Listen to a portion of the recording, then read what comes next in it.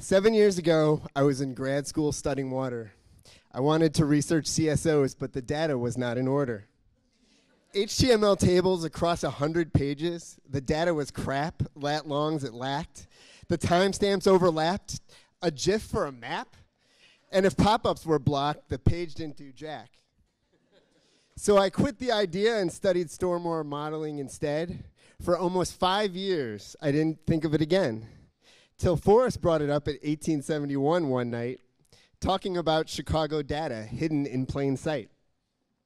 Here he is discussing it as we sat around a table, and there I am, feeling excited, willing, but unable.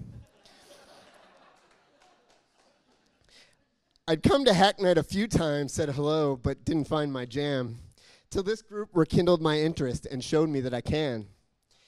I asked him with his connections if he could get the source. I'd like to do some analysis, but I need it in a usable form. He looked me up, he looked me down, and said, So you can code?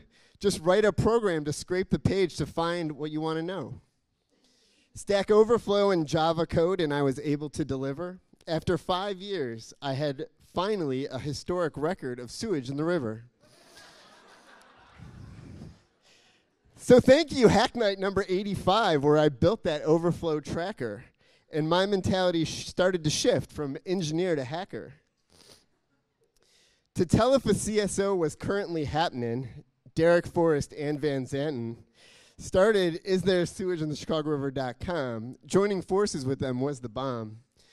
Money, women, fame, and fortune. None of that came, but we, we almost made something.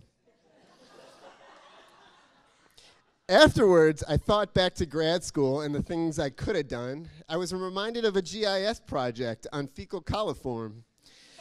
I had built a visualization from random samples down the coast, but I had wanted to report which beaches were closed the most.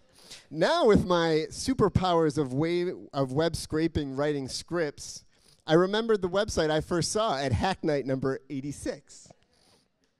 So, yeah, I got up here every week and had some fun talking about beaches and making doody puns. A new guy started at work one day as he extended his hand. He said, Hey, you're the poo guy. I said, Yes, I am.